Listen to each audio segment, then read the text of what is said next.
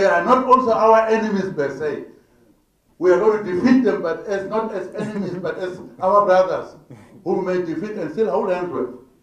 So they're going to sit in the same parliament, same country, Same country. Yeah. same family members. Maybe he is my brother, he is in Swapo. Now I'm in Swapo, he's in Swanu. No, I'm not in Swanu.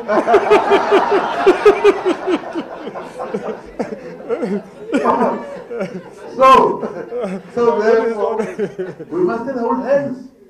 The SWAPO leader discouraged party members not to support him or the party in return for favors. I was disappointed. People are saying they are supporting Hake Hake. Apparently, they were supporting to get something. You don't get something, you are saying, ah, yeah. We put him there, we'll remove him. We don't want support like that. Yeah. We have principle support like you are saying. I know how he's been suffering. But he didn't. He's there. That is what Swapo wants. Committed Tatars. Not opportunists. At the same occasion, a Erongo SWAPO regional coordinator Daniel Mohora informed the SWAPO president that his region is ready to endorse him. as we are preparing ourselves for the upcoming presidential and national assemblies elections.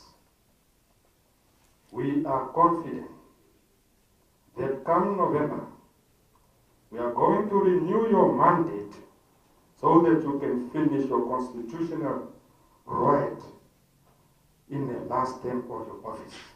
Mohora also added that his region is prepared to reclaim the Daures constituency, which is currently in the hands of UDF. We are having seven constituencies in our region. Out of seven constituencies, 99% belongs or is under the control of the ruling party, except for Daures constituency, which is under the control of, of, of an opposition, UDF. However, we put mechanism in place so that we can recapture Daures constituency come 2020 elections.